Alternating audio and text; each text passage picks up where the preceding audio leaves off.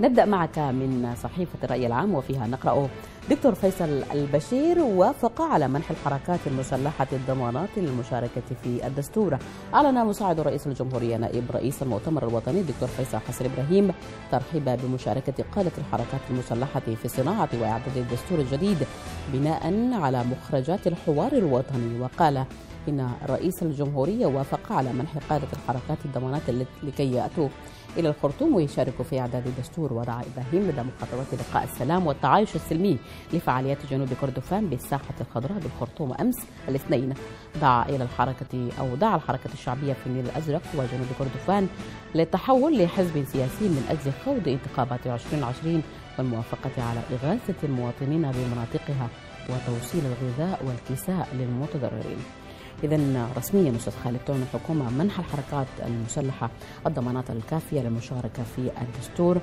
برأيك هل يمكن أن تجد هذه الدعوة القبول من الحركات المسلحة؟ هو لدرجة كبيرة هي قضية سياسية. آه، في صراع سياسي تحول لصراع مسلح ما بين الحكومة وحاملين السلاح. وبالضرورة أنه الاتفاق والجلوس لكتابة الدستور هي بتجي آخر مرحلة. ما بين الطرفين ودي التجارب العالمية وحتى تجارب آه، السودان. حتى في اتفاق آه، نفاشة 2005 كان وضع الدستور آخر مرحلة. المطلوب اولا هو الوصول لتسوية سياسية بين بين الحكومة والحاملين السلاح والتوصل لاتفاقيات آه، سلام. بعد كده بيعقبها وضع الدستور. وأنا افتكر هي دائما لمصلحة البلد ولمصلحة العملية السياسية إنه ما يتم في استعجال في وضع الدستور حيث إنه يكون هو دستور دائم للسودان بتوافق كل الأطراف السياسية في السودان إذا كان المعارضة السلمية والمعارضة الحامله السلاح ومتمردة على الدولة. فدي كلها مفترض تكون كتابة الدستور دي بعد الوصول لتسوية سياسية مع كل الأطراف إذا كان المعارضة السياسية المعارضة المسلحة وكون بده يتوج المسألة بالدستور عشان يكون دستور يتراضى عليه كل السودانيين ويكون دستور يقبل ويجد الاحترام من كل الأطراف يكون نعم. غابل للتنفيذ عشان السودان يطلع من الدوامة بتاعت 62 سنة من الاستغلال وحتى الآن ما عندنا آه، دستور دائم لأنه عدم الاستقرار السياسي نعم. وكل الدساتير قاعد تتم من آه، بدون إجماع عليها نعم. وبدون إجماع هو معناتها بيكون ما دستور دائم وبيكون ما غابل للتوافق والقبول من كل الأطراف نعم في حالة عدم قبول الدعوة هل من الراجح أن تجد الحركات المسلحة نفسها معزولة ومتهمة بعرقلة عملية السلام؟ ولا السياسة ما ما بتقوم على أساس دعوات أو عدم دعوات يعني يمكن نعم. في المسائل الاجتماعية آه، المطلوب أولا هو المضي في المسارات تحت التفاوض للوصول لتسوية سياسية واتفاق سياسي فبدون اتفاق سياسي هم ما أفتكر يرجعوا مش بس سلاح حتى المعارضة السياسية الموجودة بالداخل ما حتشارك بدون وصول لتسوية سياسية ودي العملية المعادلة السياسية العادية.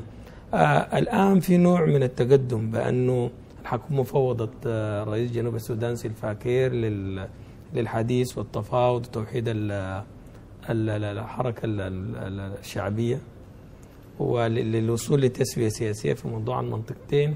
وحتى أمس كان في محادثات ما بين فصيلين رئيسيين في دارفور بقيادة مناوي وجبريل إبراهيم في الدوحة.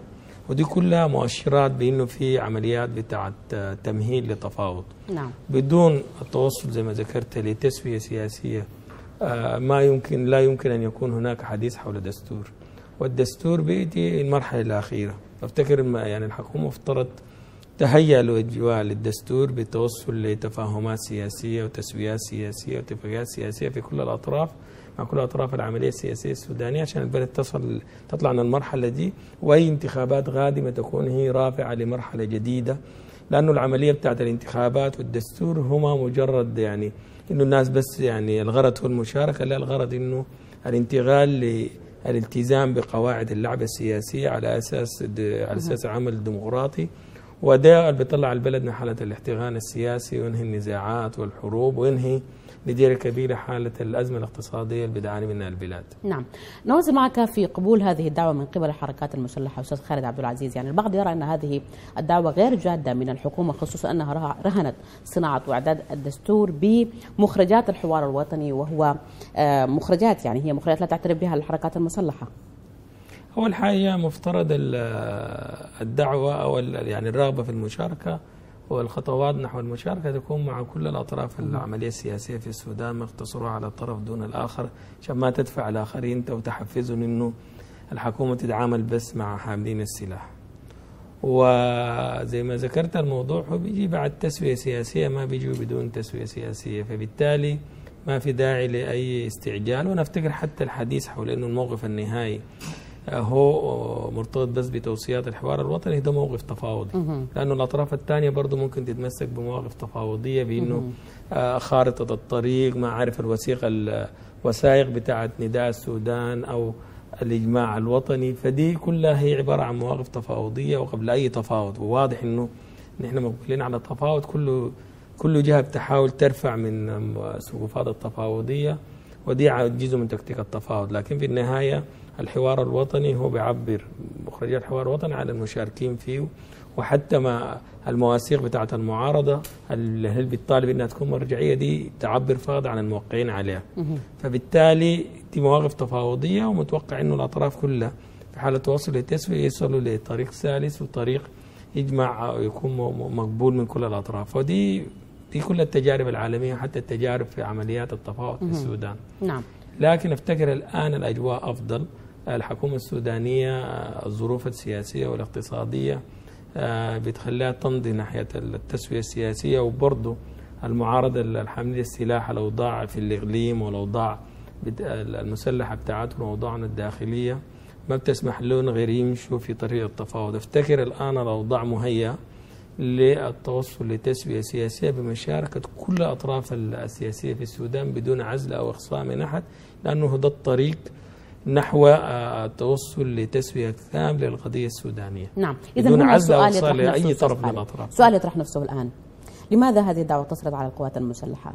الحركات المسلحة أقصد فقط ولماذا لم تشمل الأحزاب السياسية المعارضة؟ ايا كانت الدوافع إذا كانت الدوافع إنه جزء من التكتيكات تحت التفاوض جزء من الإرباك الأطراف المعارضة ايا كان. أي عملية سياسية أو أي دعوة لتسوية سياسية أو أي دعوة للمشاركة في الدستور إذا ما كانت مشاركة كل الأطراف السياسية السودانية مش الأطراف السياسية والمسلحه والأطراف المسلحة حتى المجتمع المدني وحتى المكونات الأهلية.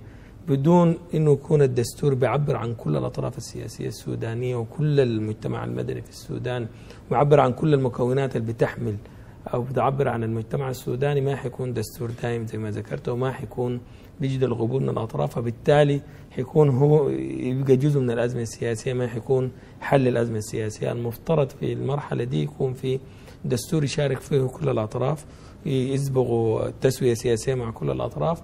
بعد كده تكون العملية بتاعت الانتخابات هي انتقال جديد لمرحلة جديدة تنهي حالة الاستقطاب تنهي حالة الحروب تنهي حالة الأزمة الاقتصادية وتكون حاجة لصالح كل مواطني السودان ولكل الطيف السياسي والاجتماعي والمدني في السودان. نعم. الآن هناك آه، وساطات ومبادرات آه، لجمع الفرقاء السودانيين في منبر أديس ومنبر الدوحة وأيضا هنالك آه، يعني رغبة معلنة من كل المعارضين حتى الأطراف لأن تدخل في عملية السلام. هل يمكن أن يعزز ذلك من إمكانية تلبية الدعوات للمشاركة في إعداد الدستور أستاذ خالد؟ كل الأطراف السياسية السودانية وصلت مرحلة إرهاق من تطاول أمد الأزمة في كل تجلياتها وبالتالي ده ممكن يكون دافع وحتى المواطن السوداني هو الأساس في كل العملية هو ذاته يعيش أوضاع اقتصادية آه، ضاغطة جدا تتطلب من كل الأطراف السياسية في السودان. النظر للموضوع ده بعين الاعتبار باعتباره الأولوية في في العمل السياسي. نعم.